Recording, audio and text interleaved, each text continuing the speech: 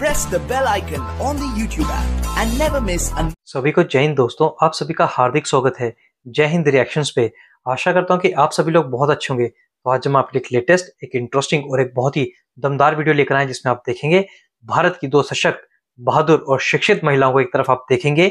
मशहूर पत्रकार गायत्री देवी जी को, जिनकी स्पेशल गेस्ट होंगी भारत की बेटी और सुप्रीम कोर्ट की दबंग वकील हम सबकी चहेती, नाजिया लाई खान जी। तो ये वीडियो काफ़ी इंटरेस्टिंग होगी, दमदार होगी और आपको बहुत कुछ जानने को मिलेगा। तो इसे अंत तक देखें और चैनल पे नहीं है तो चैनल को सब्सक्राइब कर दें ताकि हम आपके लिए इंपॉर्टेंट और इन्फॉर्मेटिव वीडियोस लाते रहें। तो चलिए पहले ये वीडियो देखते हैं और अंत में इसके बारे में बात करेंगे। जय हिंद, जय भारत। नमस्कार, सत श्रीकाल राम राम सा खम्बाणी वड़क्कम, प्रणाम। आप सभी को ऑल्टरनेट मीडिया में फिर से स्वागत है। हमारे साथ जुड़ी हुई है Nazia Elahi Khan after a break पर बीच में बहुत कुछ हो गया नाजिया के साथ में। नाजिया के ऊपर हुआ जानलेवा हमला। लोग इनके पीछे पड़े हुए थे। सर तन से जुदा के नारे लगे and I am really shock the way कि ऐसा कैसा कोई समुदाय एक महिला के पीछे महिला के पीछे एक इकलौती महिला के पीछे दौड़ पड़ता है। उसके साथ साथ आ, हम बात करेंगे। पर आगे बढ़ने से पहले पहले लाइक सब्सक्राइब और शेयर ज़रूर करिएगा। अगर आप कंट्रीब्यूट करना चाहते हैं तो नंबर स्क्रीन के ऊपर है। नाजिया एक मुद्दा तो प्लीज़ हमें बताइए कि ये क्या हुआ जिसकी वजह से आपके पीछे सब लोग पड़ गए? आपके जान के दुश्मन पड़ गए, खून के प्यासे हो गए। एंड देन तिरुमला, तिरुपति में के जो बोर्ड मेंबर्स हैं, उनके एक बोर्ड मेंबर के बारे में आप बड़ी एक्सक्लूसिव इंफॉर्मेशन लेकर आएँगे। जी। गायत्री जी बस हनुमान जी की कृपा और और महादेव की कृपा कि मैं समूचा वापस आई और ज़िंदा आपके सामने और सब लोगों के साथ मैं वार्तालाप करने की सलाहियत में हूँ। अदरवाइज़ जिस हिसाब से पश्चिम बंगाल में पाकिस्तान के प्रोपगंडा पर मेरा सरकार से जुदा करने का साजिश और षड्यंत्र रचा जा चुका था, उसमें से मुझे ज़िंदा वापस आना वो असंभव था, नामुमकिन था। लेकिन आज मैं अगर ज़िंदा हूँ तो जिस हिसाब से मैं हनुमान जी की पूजा करती हूँ, जिस हिसाब से मैं पूरी श्रद्धा और विश्वास के साथ पाँच वक्त नमाज़ पढ़ती हूँ, ये बस उसी का नतीजा है कि आज मैं आपके सामने तो मैं जितने भी लोग मुझे आशीर्वाद करते हैं, जो संत, महंत और जो मौलवी, जो मुझे आशीर्वाद करते हैं, जो मुझे अपनी दुआओं में रखते हैं, अपनी प्रार्थना में रखते हैं, उन सब की मैं आभारी हूँ और साथ साथ आपकी भी गायत्री जी, आपकी भी मैं आभारी हूँ। हाँ आज तिरुपति लड्डू लड्डू प्रसाद, जो भगवान राम की प्राण प्रतिष्ठा के वक्त भी 100 केजी गया था। 100 केजी। भगवान राम को चढ़ाने गया था, या संतों और महंतों और राम भक्तों के धर्म को भ्रष्ट करने के लिए गया था। वो 100 केजी लड्डू भगवान राम के लिए चढ़ावा था, या भगवान राम के को चढ़ा करके उनका अपमान करना और साथ साथ उनके भक्तों का, के धर्म को किसी ना किसी कटघरे में खड़ा करने का इंतज़ाम रचा गया था। मैं पूछना चाहती हूँ इस देश की सरकार से कि आखिर ये सेक्युलरिज्म का लड्डू कब तक बांटते रहेंगे और कब तक? हिंदुओं को अंधभक्त बोला जाएगा गोबर भक्त बोला जाएगा, गाय का मूत पीने वाला बोला जाएगा, सरतन से जुदा किया जाएगा और सरतन से जुदा के नारे धड़ल्ले से दिए जाएँगे और हिंदू चुप रहेंगे चुप रहेंगे। हम आज़ादी के अठहत्तरवे साल में एंटर कर चुके हैं और सेक्युलरिज्म का इतना बड़ा पाठ और इतना ज़बरदस्त हम लोगों को पाठ पढ़ा दिया गया है कि एक समुदाय मुसलमान, वो जो चाहता है, वो करता है, पर हिंदू अपने आस्था और अपने विश्वास के लिए भी, अपने सनातन धर्म के लिए भी आवाज़ नहीं उठा पाते हैं। बहुत बड़ा खुलासा चंद्रबाबू नायडू जी ने किया और खुलासा साथ साथ प्रमाण के साथ किया। प्रमाण ये था कि पहले तो लड्डू लिया उन्होंने प्रसाद और फिर उसको जब उन्होंने लैब में भेजा तो ये साफ़ प्र, प्रमाण आया कि उस प्रसाद लड्डू में गाय का फैट और फ़िश ऑयल मिलाया जाता था और आज भी जा रहा है। मैं पूछना चाहती हूँ जगमोहन रेड्डी से और जगमोहन रेड्डी से मिली हुई सारे पॉलिटिकल पार्टी से कि कभी कोई स्टेलिन आता है और वो सनातन धर्म के मानने वाले को डेंगू और मलेरिया बोलकर निकल जाता है।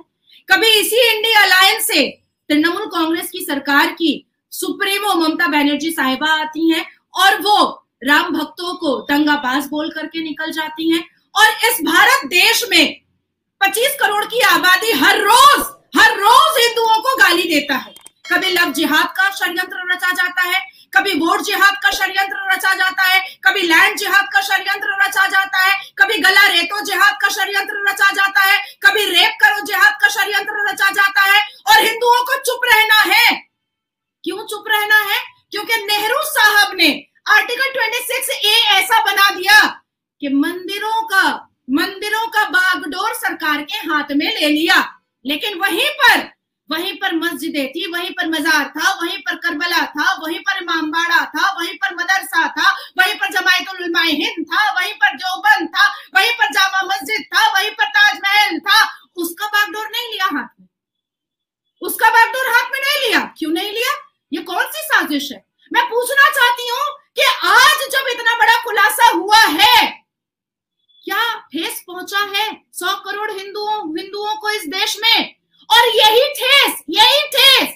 अगर पच्चीस करोड़ को पहुँचता तो अभी सरतन से जुदा हो रहा होता। आज कन्हैया जैसे कितने लोग कटे हुए रोड पर पाए जाते।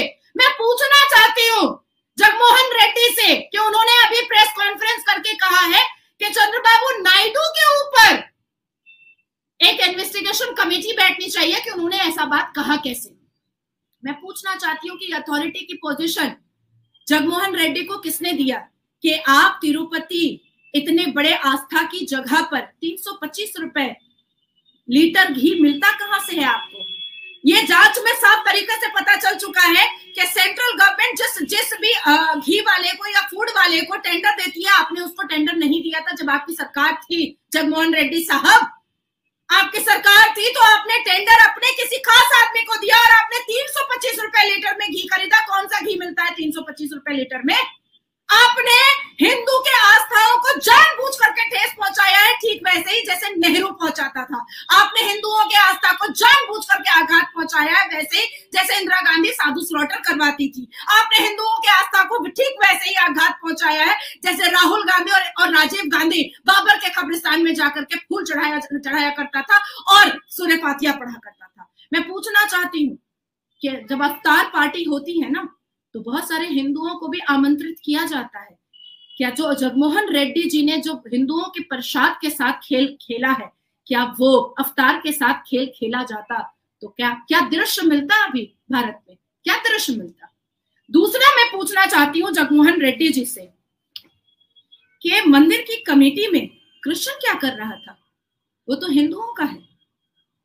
मैं भारतीय जनता पार्टी से भी पूछना चाहती हूँ कि 2020 और 2021 में भारतीय जनता पार्टी के एक बहुत बड़े नेता ने ट्वीट किया था कि बहुत सारे मंदिरों में जिसमें से अभी मुक्तेश्वर स्वामी टेंपल में मुसलमान जो है, वो बॉडी मेंबर है, बोर्ड मेंबर है। और फिर उस ट्वीट को भारतीय जनता पार्टी के बड़े नेता ने डिलीट कर दिया। क्यों डिलीट किया? क्या आपको हिंदू आपको हिंदू अपने आप को कहने में शर्म आ रही है? आपको हिंदुओं की आस्था आस्था को बचाने में खराब लग रहा था। मैं पूछना चाहती हूँ कि नवाज़ नाम का कौन आदमी था? जो अभी मुक्तेश्वर स्वामी टेंपल में बोर्ड मेंबर था, नवाज़ नाम का आदमी। और क्यों था? क्यों था? मैं पूछना चाहती हूँ कि तिरुपति टेंपल में क्रिश्चियन बोर्ड मेंबर बना कैसे? मैं पूछना चाहती हूँ कि पश्चिम बंगाल के दक्षिणेश्वर में फिर हाथ हकीम बोर्ड मेंबर और बोर्ड का अध्यक्ष बना कैसे दक्षिणेश्वर मंदिर का? वो तो मेरे आवाज़ उठाने की वजह से फरहाद हकीम को हटाया गया दक्षिणेश्वर मंदिर से और किसी दूसरे को बैठाया गया जो सनातन धर्म का था। मैं पूछना चाहती हूँ, क्या अगर हिंदुओं के आस्था और विश्वास की जगह में क्रिश्चियन की जगह है, मुसलमानों की जगह है तो जमायतुल उलमा हिंद में हिंदुओं की जगह बोर्ड मेंबर में क्यों नहीं है? देवबंद में हिंदुओं की जगह क्यों नहीं है? जामा मस्जिद के बोर्ड मेंबर में हिंदुओं की जगह क्यों नहीं है? मैं पूछना चाहती हूँ, हर एक मदरसे में हिंदू बोर्ड मेंबर क्यों नहीं है? मैं पूछना चाहती हूँ वक्फ बोर्ड में हिंदू बोर्ड बोर्ड मेंबर क्यों नहीं है? मैं पूछना चाहती हूँ, अजमेर शरीफ के बोर्ड मेंबर में हिंदू क्यों नहीं है? डालो हिंदुओं को डालो।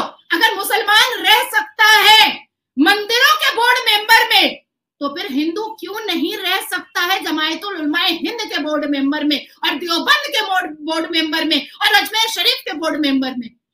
किसने ये अथॉरिटी की पोजीशन दी? जगमोहन रेड्डी को? कि आप क्रिश्चियन को रखिएगा?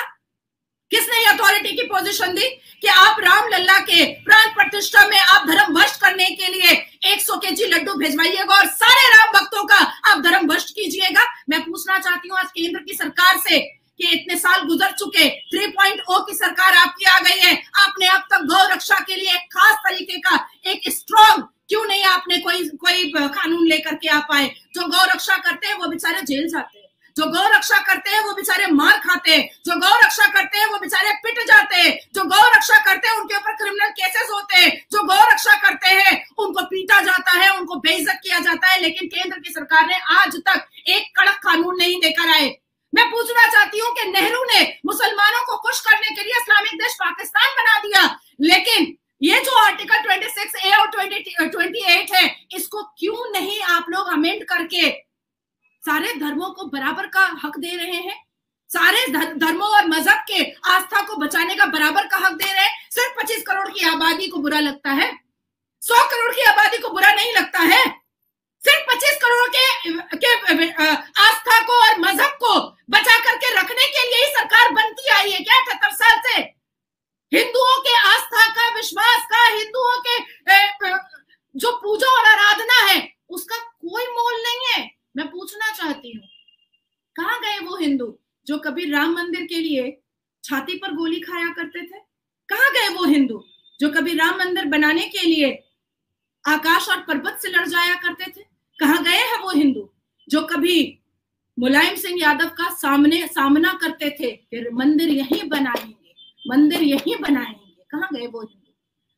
आज जितने लोग राम मंदिर के प्राण प्रतिष्ठा में गए थे आज उनको बाहर आकर के सवाल पूछना चाहिए कि जगमोहन रेड्डी को फांसी की सजा दो, नहीं तो हिंदू सौ करोड़ से ऊपर रोड पर उतरेगा, बिल्कुल उतरेगा।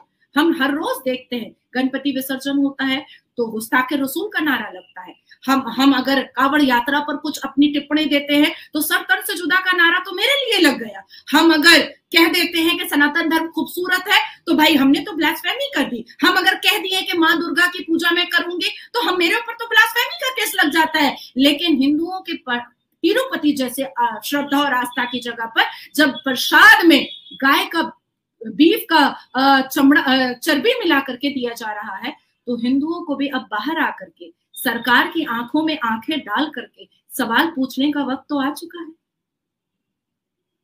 दोस्तों, आशा करता हूँ कि वीडियो को आपने अंत तक देखा होगा और हमेशा की तरह नाजिया खान जी का दमदार और बेबाक रिएक्शन आपको काफ़ी पसंद आया होगा। जैसे कि हम जानते हैं कि नाजिया खान जी के ऊपर थोड़े दिन पहले जिहादियों की भीड़ ने हमला किया था, जिसमें हिंदू भी थे और मुसलमान भी थे। पर हम जानते हैं कि नाजिया खान जी की जान बच गई। जैसे नाजिया खान जी ने कहा कि महादेव और हनुमान जी की वो भक्त है, उनकी पूजा करती है और उन्होंने ही उनकी जान बचाई है। पर सबसे बड़ी प्रॉब्लम यह है कि सौ करोड़ हिंदू कब जागेगा? जब हमने देखा कि तिरुपति बालाजी में जो सब कुछ हो रहा है, पर हिंदू अभी भी खामोश है। ये सेकुलरिज्म की जो बीमारी है, ये हिंदुओं को कब जाएगी? और मैं नाजिया खान जी की बात से सहमत हूँ और जैसे कि नाजिया खान जी ने दो बड़े इंपॉर्टेंट पॉइंट उठाए कि मंदिर की कमेटी में मुस्लिम और क्रिश्चियंस का क्या काम है? क्यों? मंदिर की कमेटी में मुस्लिम्स और क्रिश्चियंस को मेंबर बनाया जाता है। और दूसरी ओर, खुद आपने देखा नाजिया खान जी कितनी बेबाक है, वो खुद बीजेपी की है, पर उन्होंने केंद्र सरकार से सवाल उठाए कि इतने साल हो गए केंद्र सरकार को, लगभग अब ग्यारह साल होने जा रहे हैं बीजेपी सरकार को, कि उन्होंने अभी तक गौ रक्षा के ऊपर कानून क्यों नहीं बनाया। तो इस बात पे मैं नाजिया खान जी को सपोर्ट भी करता हूँ और उनसे सहमत भी हूँ। आपके इस बारे में क्या विचार है? आप अपने विचार हमें कमेंट सेक्शन में लिखकर ज़रूर बताएँ। और वीडियो पसंद आई है तो इसे लाइक और शेयर ज़रूर कर दे और एक बार फिर चैनल पे नहीं है तो चैनल को सब्सक्राइब कर दें ताकि हम आपके से लेटेस्ट और इंपॉर्टेंट वीडियोस लाते रहें। जय हिंद, जय भारत।